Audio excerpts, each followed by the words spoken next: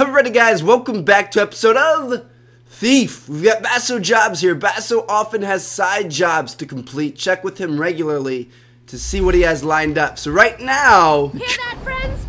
It's the we're actually on a main job. What the the fudge? She just scared the shit out of me. But anyway, we're on a main job because we're going to steal this ring from this dead guy. In this iron cage, all in the name of progress.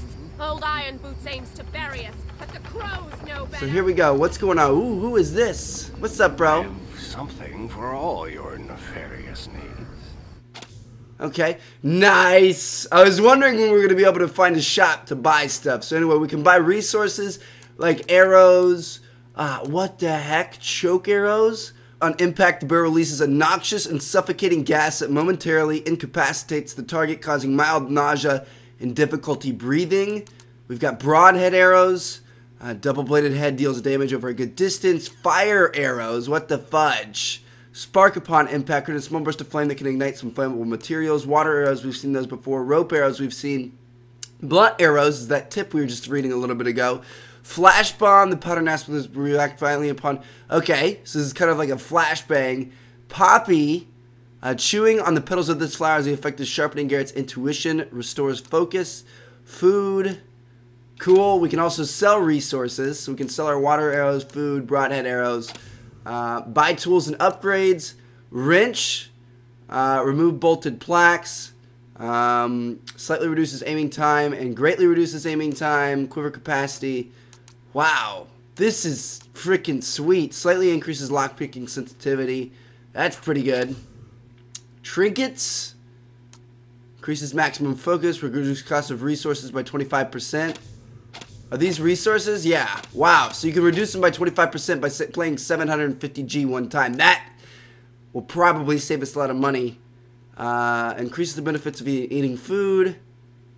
No sound on impact. Reduces damage taken from burning in traps.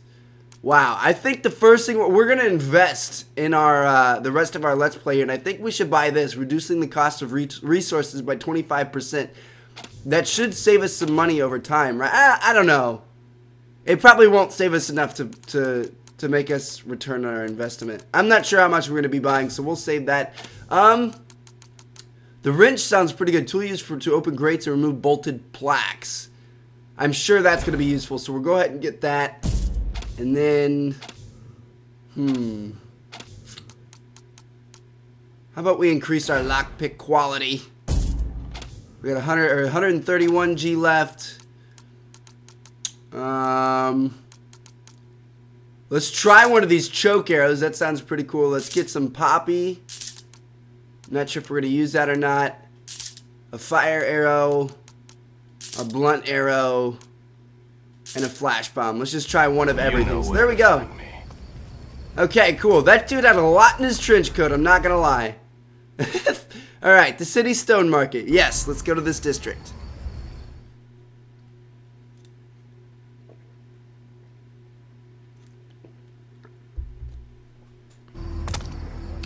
Alright.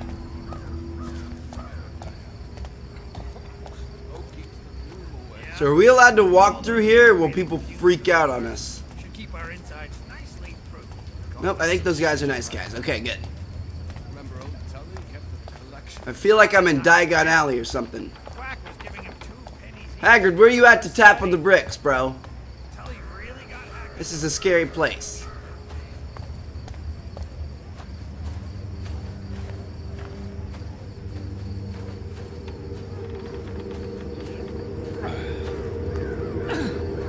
That's the last of them. There'll be more tomorrow. I'm starting to think they're the lucky ones. Lucky, eh? Some of these gloomers bite off their tongues to make it stop. Gotta make sure we aren't missing eyes Or their anything. ears. Luck wants Oh wow, there's nothing to do freaking graves right here. What the hell? Just graves on the side of the street? That doesn't seem very The very old chapel on the morning side. The court of the Queen of Beggars.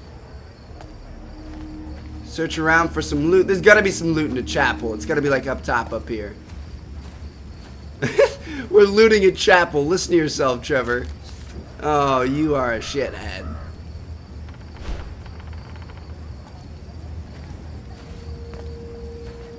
Oop, what's this in the back wall?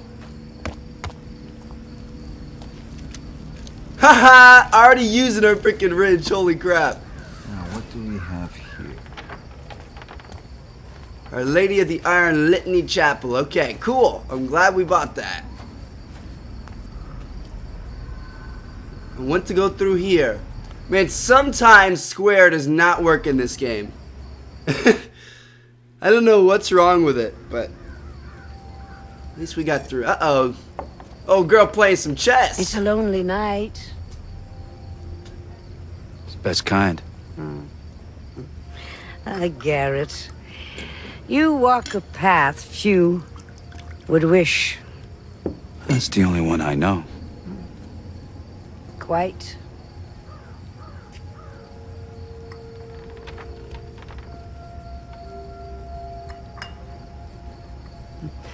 You know what they creepy say looking. about me? That you know everything that happens in this city. Not everything. Just the important things.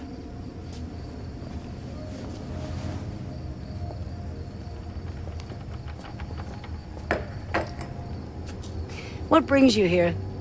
Seeking my counsel?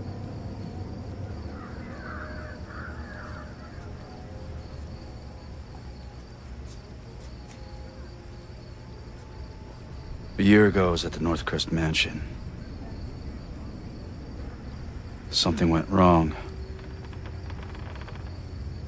What happened to me? What happened to Erin? A year ago. Men who believed themselves to know best try to control something they didn't fully understand for their own ends. The balance has shifted. We can all feel it. That's your answer?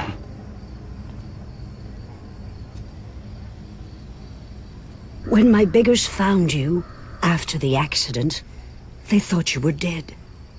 But you were not dead. So we healed your broken body and brought you from the city to to keep you safe while we waited. But then just after the gloom started, something began to wake you. It was time for you to return home. This city grows sick. It will tell you all in time, if you choose to listen. Careful, Garrett. There are worse things in the shadows than you. Oh shit. That's scary. Alright. Well, talking with the creepy old lady is complete. Earning focus points. Donate gold to the Queen of Beggars to receive focus points. Use focus points to enhance your focus abilities. What is fo- I don't even know what focus is. Okay, player progression. Chapters completed per playstyle. Opportunist, Ghost, Predator. Uh, focus upgrades. Intuition. Um, nope, wait, I don't want to buy anything yet. Okay, so we already have level 1 of all these things, and you could upgrade to level 2.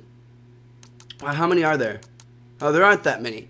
Uh, Alright, uh, highlight elements in the environment from a distance. Loot interact objects are in blue. Threats and other dangerous elements are in red. Ability to know where unique loots and collection items are hidden. Handprints appear to reveal paths. Uh, dexterity.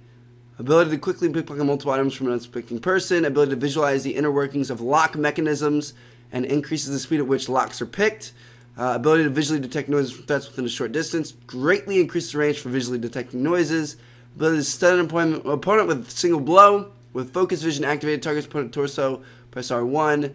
Uh, ability to knock out an opponent with a single blow. Wow! Knock him out with a single blow. That's crazy. Slightly increase the speed of your actions during marksman combat. Lockpicking by slowing the world around you. Greatly increases the speed of your actions during marksman. Okay. Reduces the consumption rate of focus energy. Greatly reduces the consumption rate of focus energy. Um, hmm. I think we're going to start off with effici- efficiency. I feel like efficiency is going to be the most useful, useful because we're going to greatly reduce the uh, the consumption rate of our focus, and then we can start working on other things. So we'll we'll start off making an investment in our future. So there we go. We've got level two of that. That's good news. Okay. So we need to use focus more. That's R3, I believe. Yeah, now we're in focus mode right here. So we want to make sure we uh, we take advantage of that when we can. Oh, wait. We're supposed to be going this way.